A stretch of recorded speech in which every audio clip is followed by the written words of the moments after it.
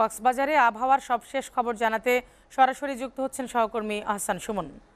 সুমন, বঙ্গোপসাগরে মাছ ধরতে গিয়ে নিখোঁজ জেলেদের উদ্ধার তৎপরতার অগ্রগতি কেমন দেখছেন? বিস্তারিত জানাবেন।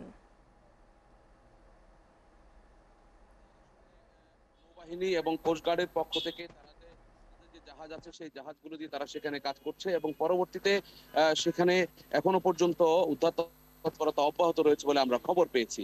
পাশাপাশি কিছুক্ষণ আগে আমরা খবর পেয়েছি উখিয়ার ইনানি এলাকার মধ্যে, অর্থাৎ সমুদ্র সৈকতে আরও দুটি লাশ ভেসে এসেছে এবং সেই লাশগুলো এফবি সামাদ নামে একটি ফিশিং ট্রলারের জেলে ছিল বলে আমরা খবর পেয়েছি। সেটি আমাদেরকে ইনানি পুলিশ ফাঁড়ির পক্ষ থেকে নিশ্চিত করা হয়েছে। অর্থাৎ আরও দুজনের জেলের মৃতদেহ উদ্ধার করা হয়েছে। এটি সর্বশেষ খবর। সব মিলিয়ে গত দুই দিনে যে ভারী বৃষ্টি এবং এখানে যে জড়ো হাওয়া সমুদ্র উত্তাল ছিল। সবগুলো মিলিয়ে কিন্তু এখন মৃতদেহের সংখ্যা বারো জনে হয়েছে। আমরা যতটুকু খবর জানি যে এর মধ্যে ছয় জন পাহাড় ধসে মারা গেছে আর বাকিরা সব পানিতে মারা গেছে। এরকম খবর আমাদের কাছে রয়েছে। রূপা, এর বাইরে যদি বলি যে আসলে কক্সবাজার সমুদ্র বন্দরকে এখন তিন নম্বর সতর্কতা সংকেত দেখিয়ে যেতে বলা হয়েছে।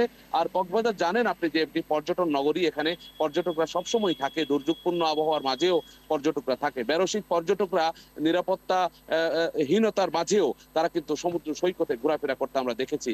কারণ তারা বেড়াতে এসেছে, এখানে হোটেলবন্দি জীবনযাপন করছে, এখানে পানি উঠেছিল, পানি কমে গেছে, কিন্তু তারা হোটেলের মধ্যে না থেকে তারা সমুদ্রের তিন নম্বর সতর্কতা সংকেত যে লাল পতাকা উঠিয়ে দেওয়া হয়েছে জেলা প্রশাসনের পক্ষ থেকে, তারপরেও আজকে দেখেছি আমরা সকালবেলায় আহ, বিকেল বেলায় তারা এখানে হাজার হাজার পর্যটক সমুদ্র সৈকতে ঘোরাফেরা করতে আমরা দেখেছি।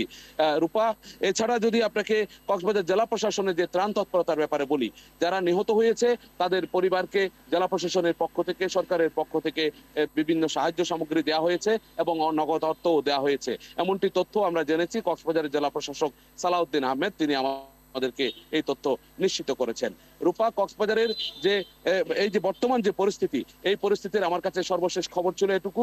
পরবর্তীতে অন্য কোনো সংবাদ থাকলে আপনার মাধ্যমে আমরা দেশবাসীকে সেটি জানানোর চেষ্টা করব। রূপা।